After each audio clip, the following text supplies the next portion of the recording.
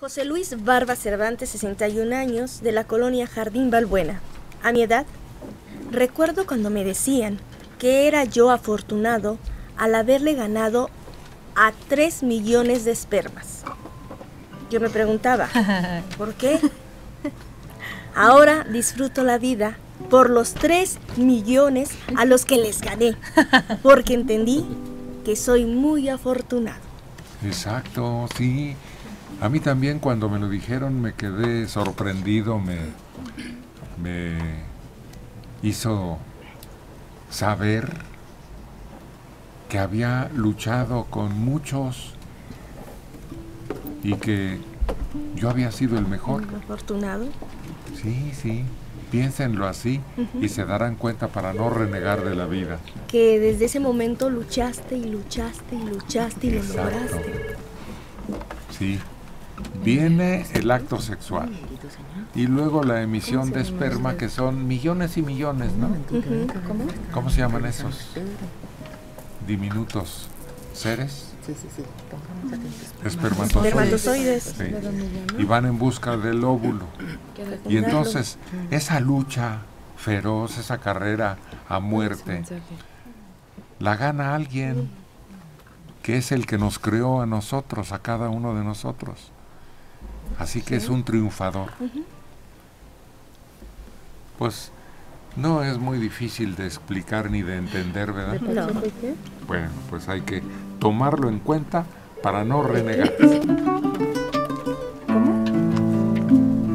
Permítame. Otra ganadora en esta vida decidió cantar. La chica electrónica. Mira qué griñero le tocó. Espermatozoide peludo.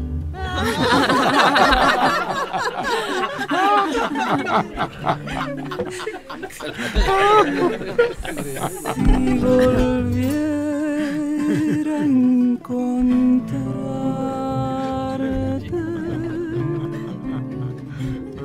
no sé qué te diría.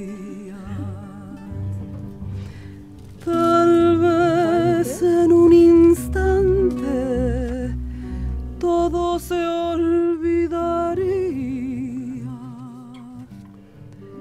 Si volviera a encontrarte,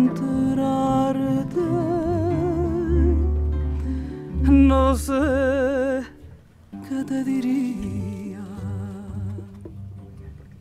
Te diría,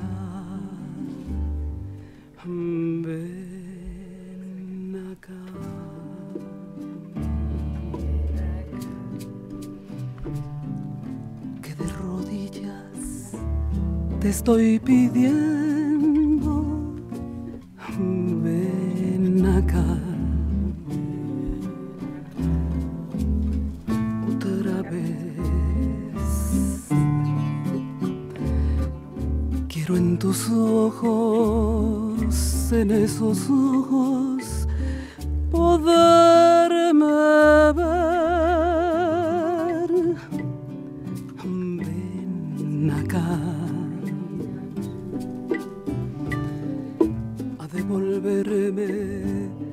todos los besos que yo te di. Tu recuerdo me hace llorar cuando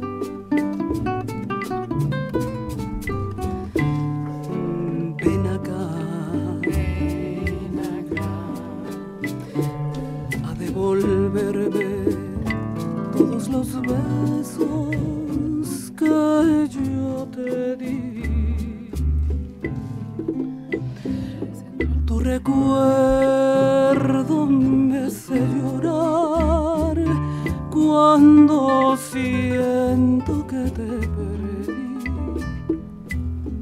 Ven acá, que aunque tú seas de todo el mundo,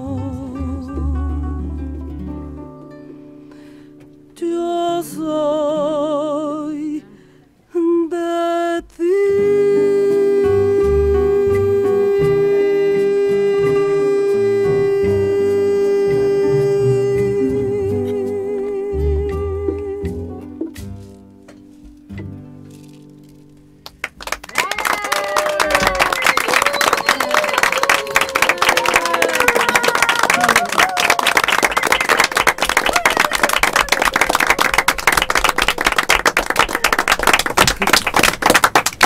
Ven acá, así le dijeron a la chica electrónica.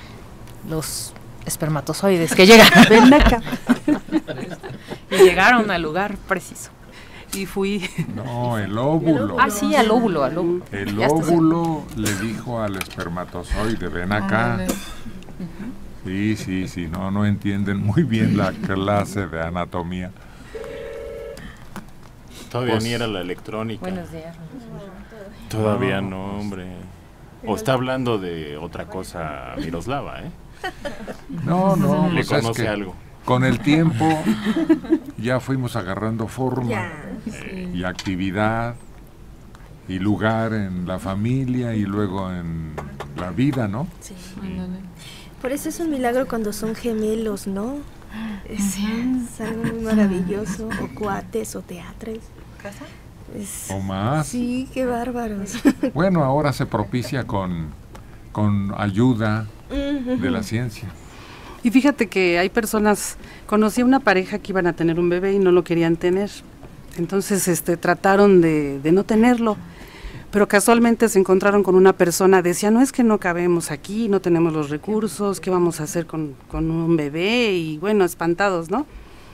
Total que finalmente tuvieron a su bebé, que es una bebé hermosa, y cabe precisamente, o sea, se encaja en la familia, como tú dices, llega y no, aunque tú lo piensas antes de que como un hijo, que para qué y que no sé qué, mucha gente piensa que no va a poder, que no lo desea, que no lo quiere, y de todas maneras, cuando llega ese bebé, encaja perfectamente. Pues aunque ahora ya no es mucha suerte, ¿eh? Porque ya escoges el color de ojos. Puedes programar el sexo, el tamaño más o menos que va a tener. No, Entonces, no, ya sea- chiste tiene. Vuelto. Es el futuro.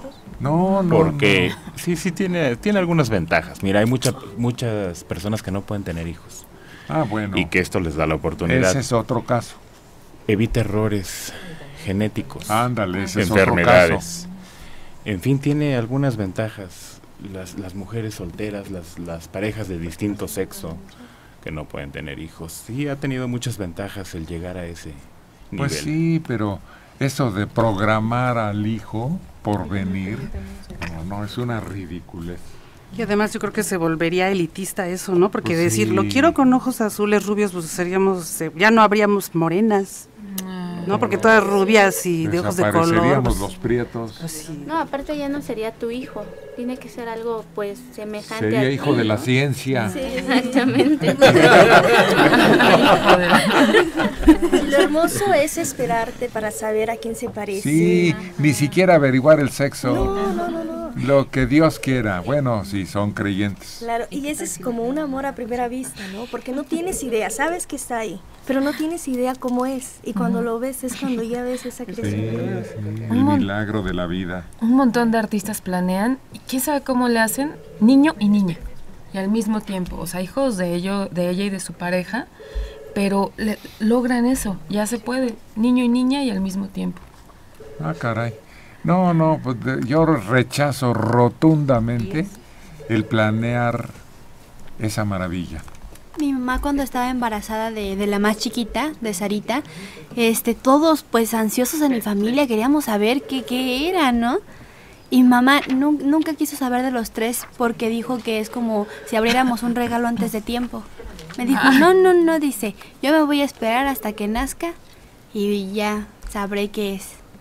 Felicita a tu mamá de mi parte. Sí. Sí, dile que eso es lo que debe hacer el ser humano y no valerse de muletas para caminar hacia ese paso definitivo. Y muchas veces se equivocan. A una amiga le, le juraban y le perjuraban que Ah, lo que tenía era niño y van naciendo niña. Sí. Bueno, pues tenemos más mensajes. ¿Qué dicen? Jesús Noyola Alvarado de Gustavo Madero tiene 60 años.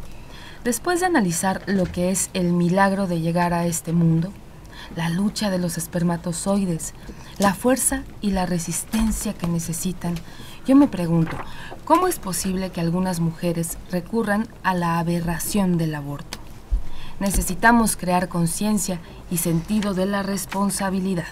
No, no, pero la mujer que tiene que ver con los espermatozoides. No, no, no, no, la mujer no tiene nada que ver con los espermatozoides. Cuidar sus óvulos, eso sí, ya es otra cosa. Entendamos, porque si no, pues nos hacemos bolas, don Jesús.